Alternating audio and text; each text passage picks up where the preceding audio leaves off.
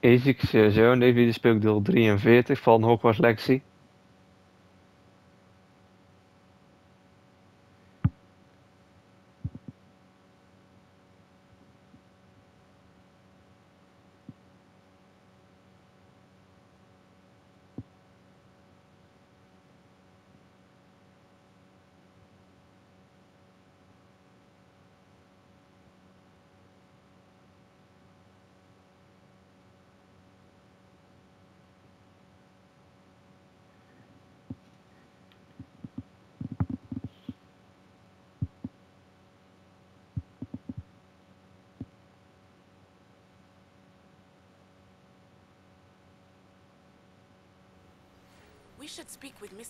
Friends. I believe I can sneak away without drawing my mother's eye. Meet me near Hogsmeade, and we will devise a plan. I think I know how and where to approach the centaurs about protecting the Snidgets. Meet me in the Forbidden Forest.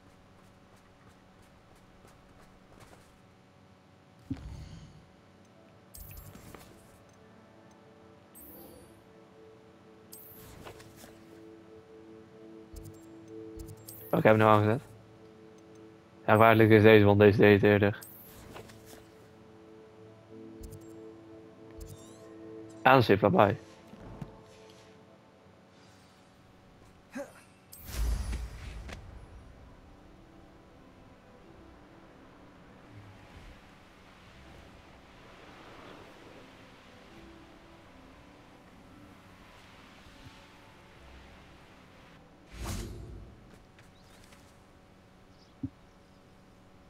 Are you ready to put an end to Harlow?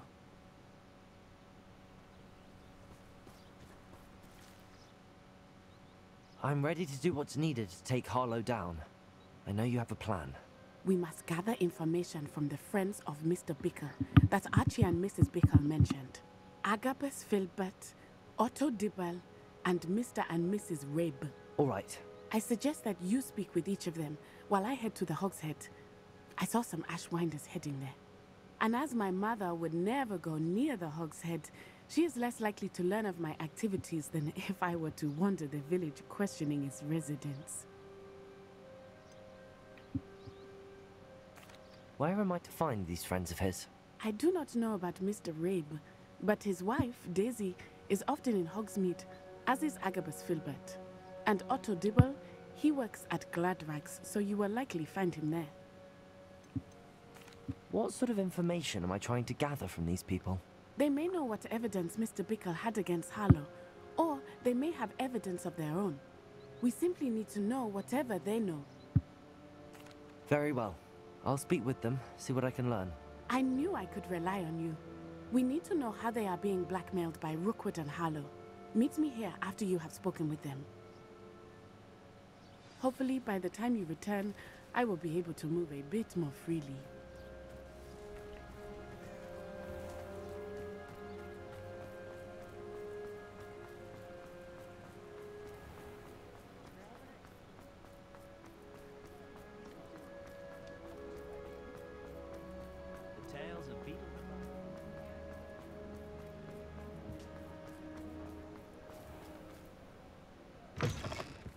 Ah, glad you came.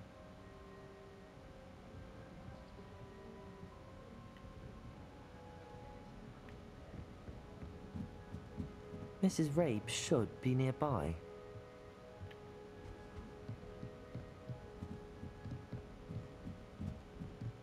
Oh, Isko, what have I done? Mrs. Rabe, I wondered if I might speak with you about Theophilus Harlow. I'm a friend of the Bickles and I'm trying to gather evidence against him. Poor Joanna and little Archie. And now Harlow has taken my darling Isko. What do you mean? Why? I'm a security guard at Gringotts, and my husband is a curse breaker for them. Harlow approached me about helping him extort my colleagues into giving him treasures from the vaults. And you declined? Of course I declined. Repeatedly. I thought they'd given up. Until I came home one night and found my husband gone, and a note affixed to my door with a knife. The note stated that I only had a few days to reconsider helping with some banking needs, and that my husband would appreciate it if I acted quickly. But the help Harlow wants is help that I cannot give. And my dearest Isko is paying the price. Why wouldn't Harlow extort your husband? Isko's job is even more removed from the vaults than mine. He travels the world for the bank. He could do nothing for Harlow. I'm the one in the bank on a daily basis, which evidently makes me an enticing target for blackmail. Have you helped Harlow since your husband was taken? No, I'm worried sick about Isko, but he'd never want me to compromise my integrity. I also know that he's extremely clever. That said, I was hoping he would have escaped by now. It makes me concerned as to why he hasn't. Are you sure the note means that your husband was kidnapped? What else could it possibly mean? Besides, I came home to find that someone had trampled the daisies in our garden. It may sound silly, but those were Isko's pride and joy. He would never have let that happen. Thank you, Mrs. Rabe. Knowing the lengths that Harlow will go to is helpful, albeit more than disturbing. Mr. Bickle was trying to help us, but now he's gone. I don't know what to do. I shall do all I can to get evidence against Harlow, Mrs. Rabe. Very well. Here's the note I received. You must be careful as well. Please don't put yourself in danger. Some evidence worth hanging on to. Thank you. I hope it's not Now, to find Mr. Bickle's other two friends. Oh, glad you came.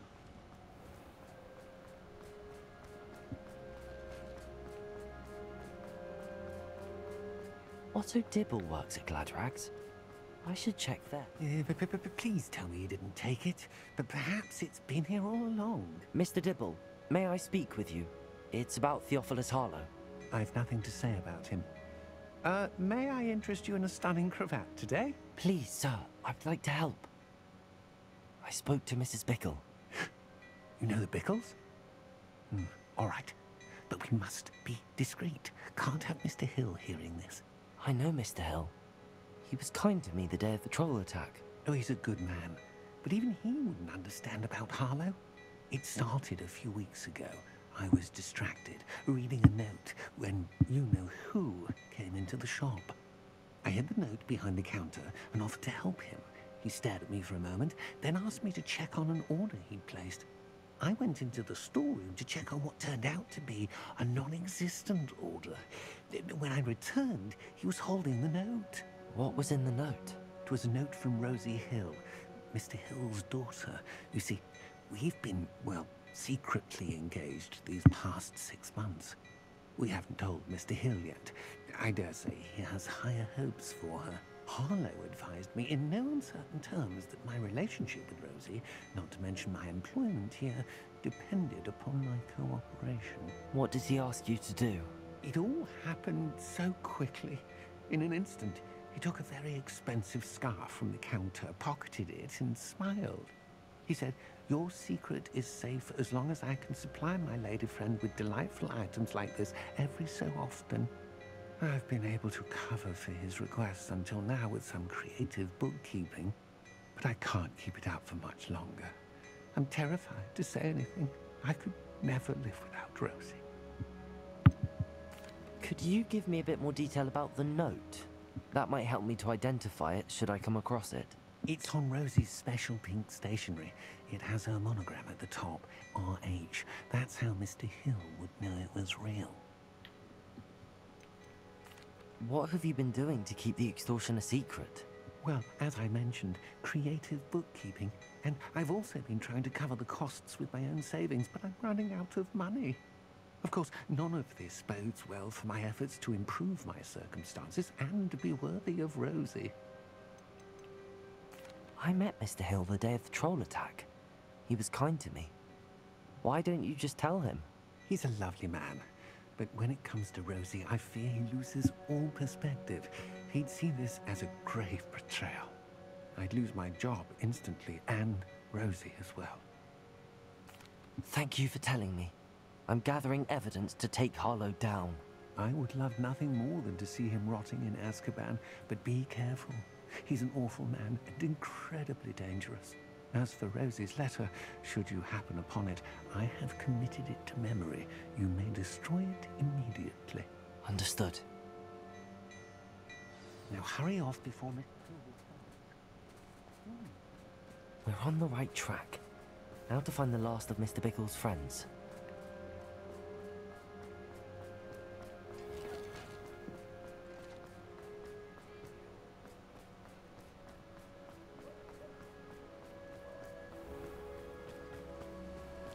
Hmm. Agabus Filbert must be around here somewhere. Hello there. Excuse me, Mr. Filbert. I wondered if I might speak with you about your dealings with Theophilus Harlow. I hope to ease Mrs. Bickle's mind by gathering evidence against him. Oh, tragic what happened to Bickle. He wanted me to speak out against Harlow for an act of violence committed against me. But I feared Harlow's retaliation, and so I refused.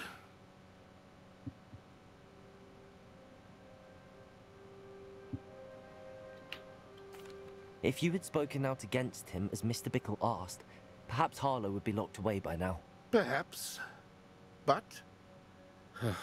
perhaps I would have suffered a similar fate. You said that Harlow committed an act of violence against you. Could you tell me what happened?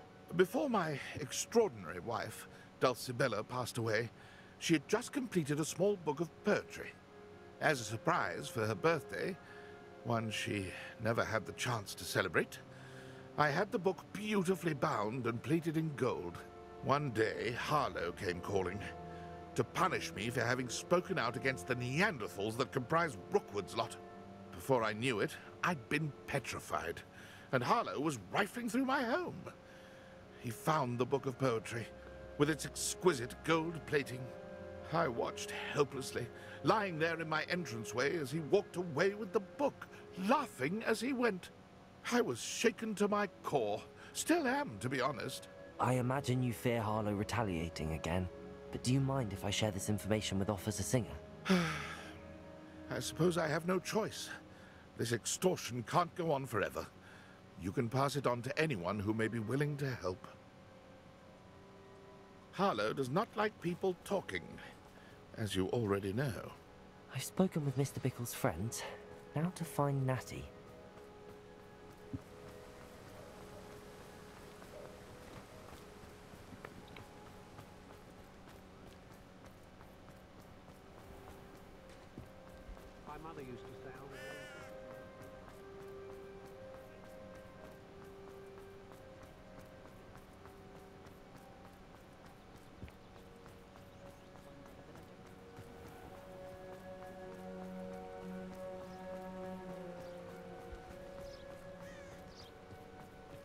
It's not like Natty to be late.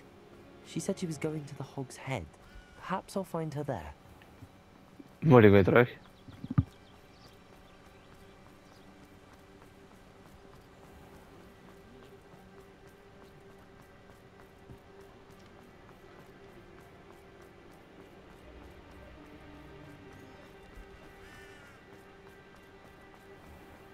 The young today aren't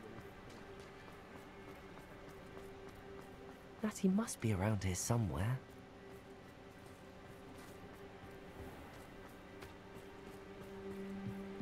Revelio.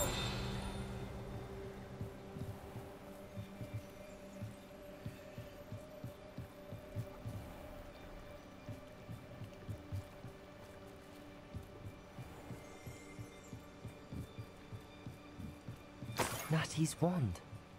She can cast without it. She wanted me to find this. She's in trouble. Revelio will show me where she was taken.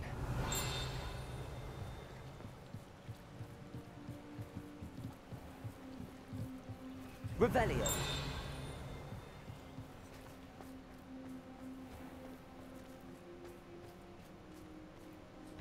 Eén misschien?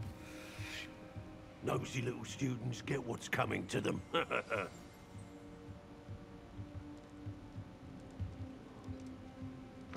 Andere kant moet ik hebben.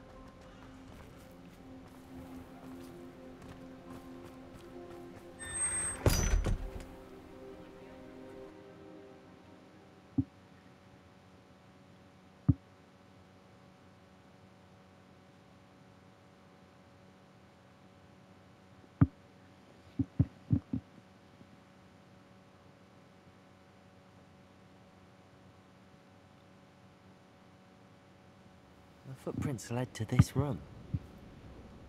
There must be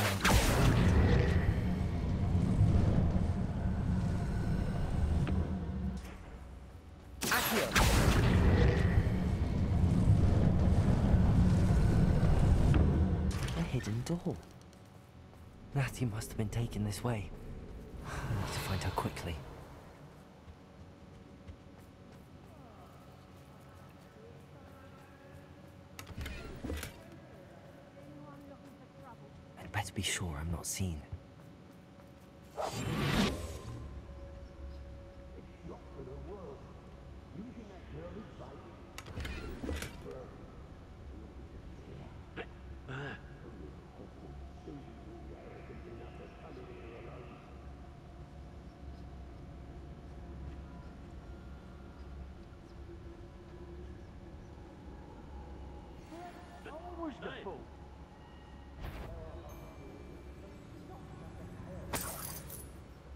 Decent. Everyone in Upper Hope. Ben serieus. You can't hold out forever.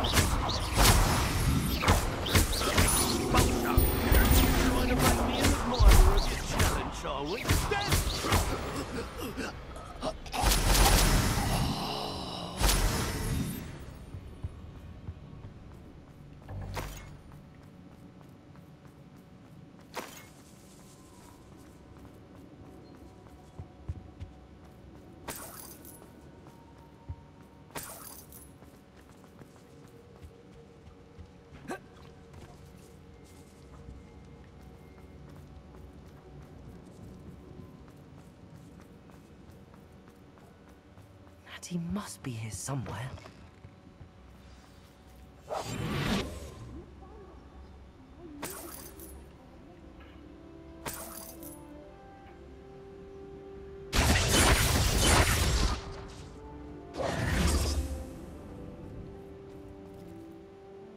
Mr. Rabe, Daisy told me you'd been abducted. You spoke with my wife. How is she? Worried about you. Are you all right? I am all right. Thank you for coming. These locks are cursed, and there's an anti-apparition jinx on the cells. Even Natty's skill with wandless magic cannot free us. I need you to find my wand. Use mine. We'll find yours together once you're out of there. I need my wand for this. Using one with which I have no connection may not work as well or as quickly, and we cannot risk detection. I shall do my best. Any idea where it might be? It's nearby. I can sense it. Understood. I'll find it. Your friend Natty was not able Revelio.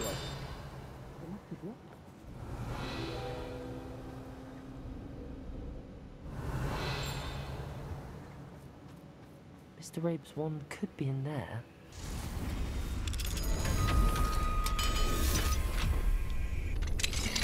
Mr. Rabe's wand. He'll be glad to have this back. Mr. Rabe, I found your wand. Well done. I knew it was nearby. Now, you best stand back. One never knows how a curse will react to being broken.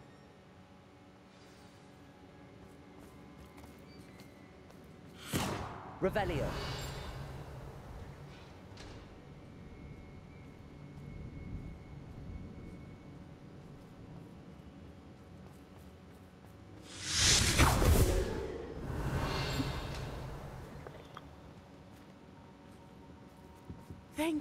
Mr. My pleasure. And thank you, my friend. We owe our lives to your bravery. I may be too weak to disapparate with you both, but I can try. You go ahead. Find Officer Singer. We will get out of here on our own. Very well. But be careful.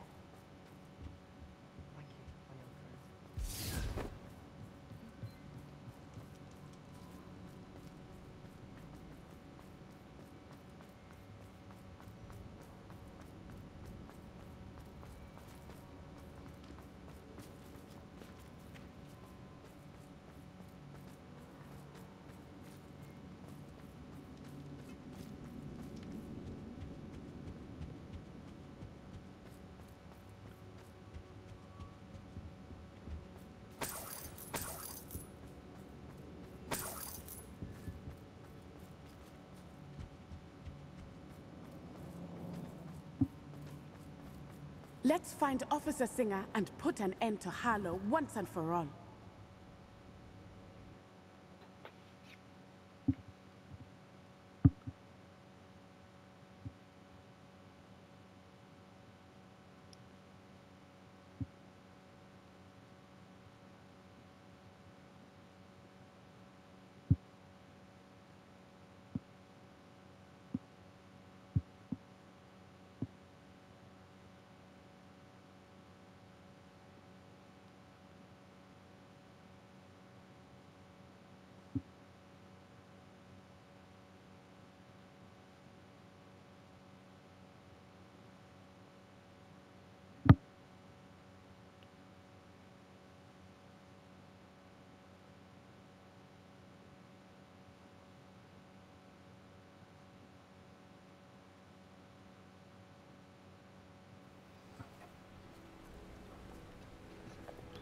Natsai Onai.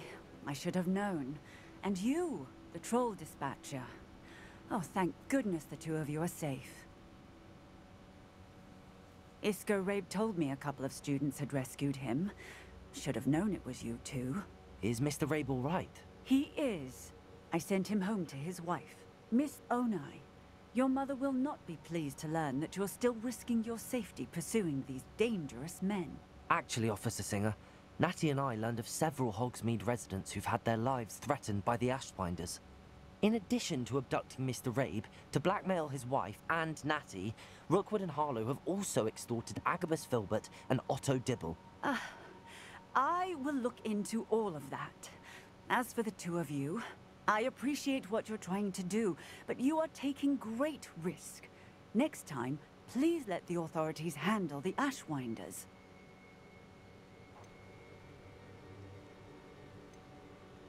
Yes, officer. Do you have enough evidence to take down Harlow and the rest of Rookwood's lot? Well, it's certainly a good start. We shall see. But you can leave this to me now. Natsai, you may wish to speak with your mother about this before I do. My mother will not like this. Thank you again for rescuing me. We shall speak soon.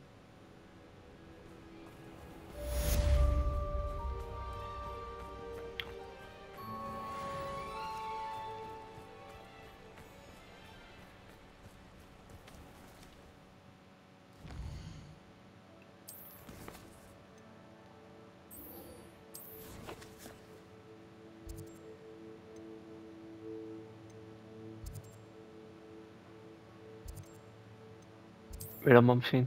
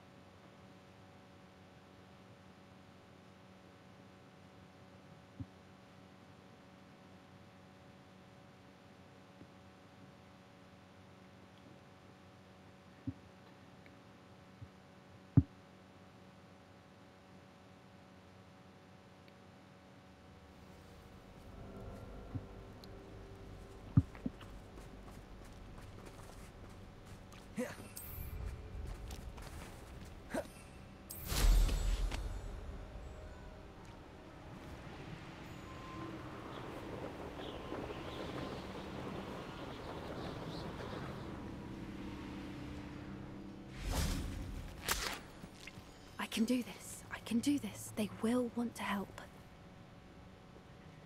Is this where we're meeting the centaurs?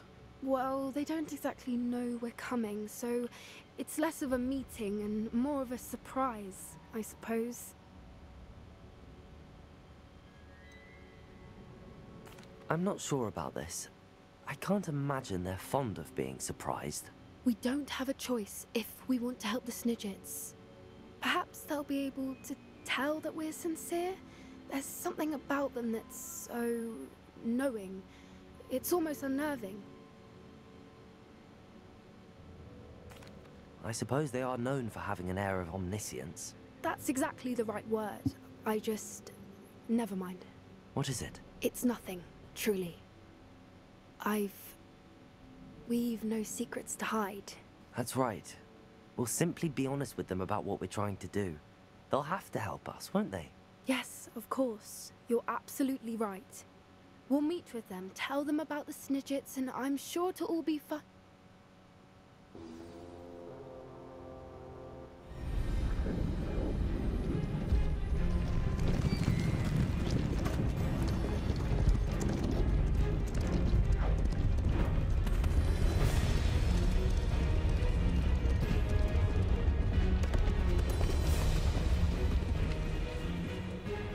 Do you think you're doing here, humans? Please!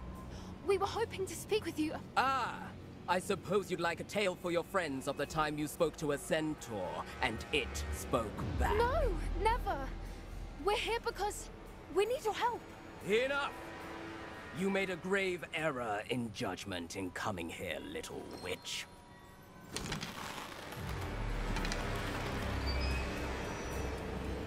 Leave them be, Alec. We do not harm the young. It is not our way. You forget your place, old fool. I'm the leader of this herd, and while you cling to our way, their kind continue to slaughter beasts like us without a care. From what I can see, they have slaughtered no one. They will leave here unharmed. Mark my words, Dorran. If I ever see them again, it will be all three of your heads.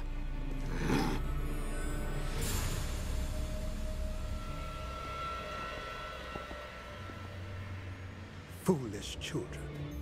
Do you know what happens to wizards who wander here? Now, follow me Golden I... Snidgets are still alive, and the poachers are after them. They know that the key to finding them lies in the moonlight, but they don't know what that means yet.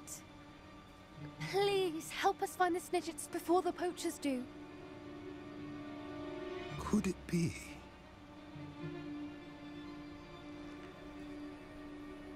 In the south, there is a cave within which lies what the poachers seek. A moonstone. Retrieve it and place it in the henge in the forest. I, on the other hand, must go speak with the herd. Find me after you have done this.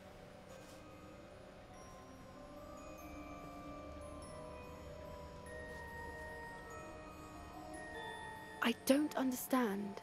So the moonlight mentioned in the journal doesn't refer to actual moonlight, but to a moonstone.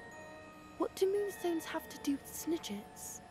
And why was he so certain about where we could find one? Zo genoeg voor de deel. Ik het leuk vond. Heb je het om te liken en te abonneren.